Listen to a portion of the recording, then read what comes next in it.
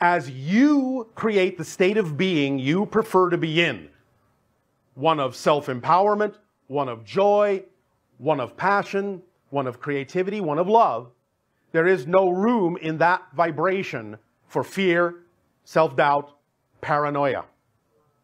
When you exist in that state, what you will do over whatever time frame is comfortable for you is you will shift yourself slowly or quickly from one parallel version of Earth to another, to another, to another, to another.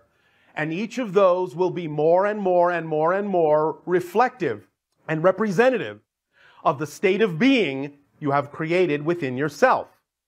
The truth is, you never change the planet you're on. You change yourself and shift to a parallel reality version that's already more representative of the change you've made within yourself.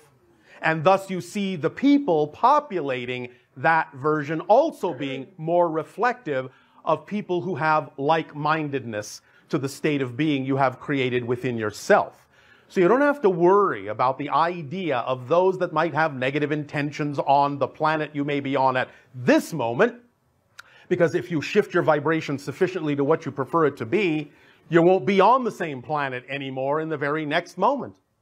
If you understand that you're already shifting literally, this is not a metaphor, literally billions of times per second through various parallel versions of Earth, so quickly, so smoothly, you don't even know you're doing it. You think that when you see a change of any kind, you think that change is happening in the same world. It's not. The change is indicative of the fact that you have shifted to another planet. Literally. This is one world. This is another.